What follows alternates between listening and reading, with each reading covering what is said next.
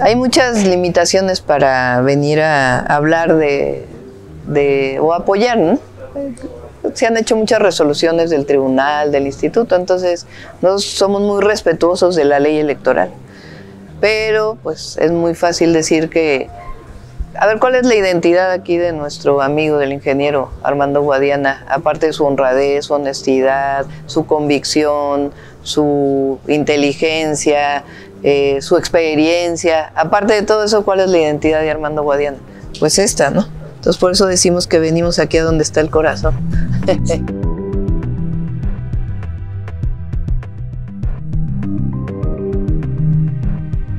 Aquí en los medios podemos, eh, bajo entrevista, decir algunas cosas más.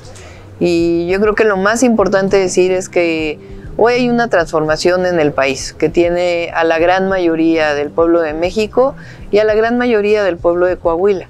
Y para que no haya ninguna confusión de que quién representa la transformación en Coahuila, muy claramente lo digo, lo representa solamente una persona que es Armando Guadiana, nadie más. En este caso solamente uno eh, es Armando Guadiana y todos los que están con él.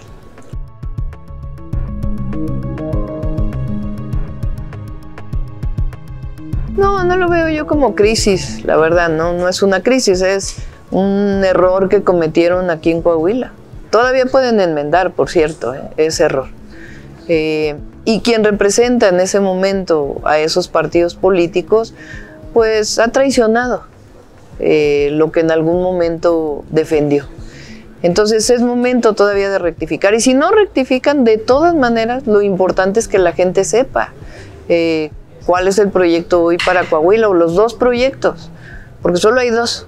Uno que representa la continuidad, la corrupción, los privilegios y otro muy distinto que representa el cambio verdadero. Eso es lo que hay en este momento.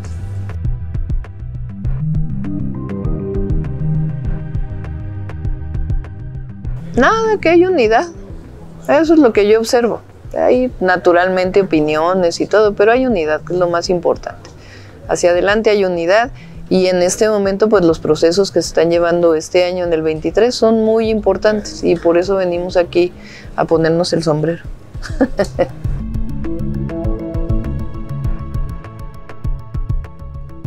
Pues bueno, sí, pues ahora aquí en la laguna, como les decía yo, que el día de ayer, después de tanto tiempo que estábamos esperando la lluvia aquí en Coahuila, aquí todo el día llovió desde las 4 de la mañana hasta las 6, 7 de la tarde. Y hoy salió el sol porque venía la doctora Claudia Sheinbaum.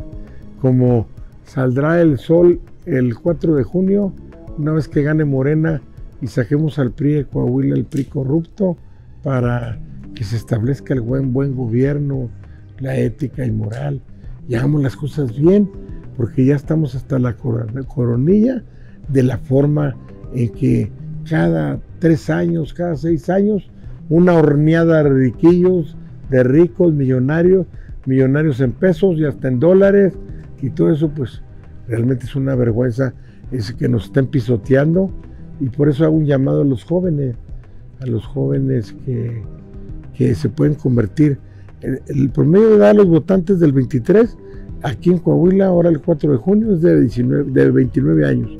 Y de 29 a 18 son como un tercio de la población. Entonces, esa generación se puede convertir en hacer historia, convertir en, en haber sacado al PRI de Coahuila después de 94 años, que no lo pusieron a hacer sus abuelos y sus padres. Y yo creo que eso es y como les digo a los jóvenes, muy jóvenes, que son de música moderna y todo eso, si el, si el 4 de junio el PRI se va, peso pluma vendrá. Eso es un, eh, así como lo que, ¿verdad?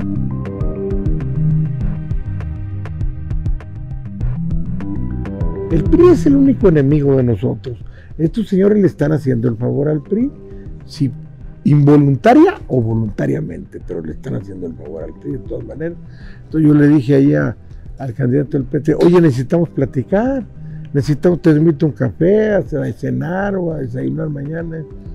Y pues él yo lo veo muy nervioso, así no sé qué presiones traerá interna, pero este, lo vi nervioso. No, no tenemos nada que platicar, no tenemos nada que platicar. Pero pues ya no dije nada.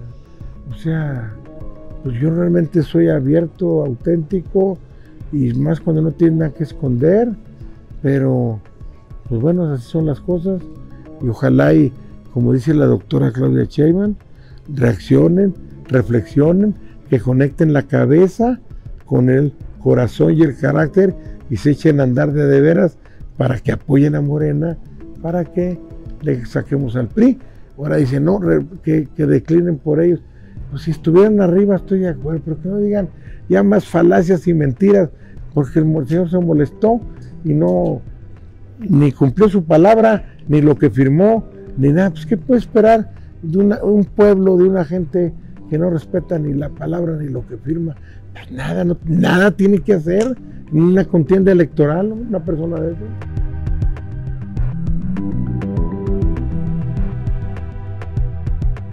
Pero ahorita estamos, mira, ahorita estamos arriba en la intención de voto para Morena en todos los distritos.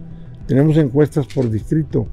Pero necesitamos consumar el voto y ahí nos estamos enfrentando al catálogo de fechorías, de arbitrariedades, de compra de votos, de todas las tonteras que sabe hacer el PRI coahuilense, que es el PRI más corrupto de toda la República. Eso es lo que tenemos que contener. Pero si la gente sale a votar este, fuertemente, no tenemos duda que la victoria es contundente.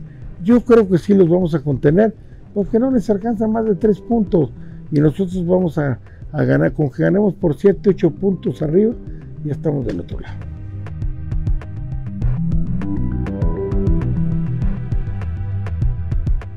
Sí, es un momento muy importante para Coahuila, para el país y para Coahuila también. Y sí es importante que quien va a participar en este proceso que viene ya muy pronto, eh, piense pues en, lo que quiere para el futuro, para ellos, para sus hijos, y que piense quién representa ese cambio que se tiene que dar y quién representa pues el atraso, y que no haya duda pues, porque hay quien plantea que también es parte de la transformación, pero hoy no. Hoy eh, los otros que dicen que son parte de la transformación no lo son. El único que representa la transformación y el futuro de Coahuila pues es Armando Guadiana.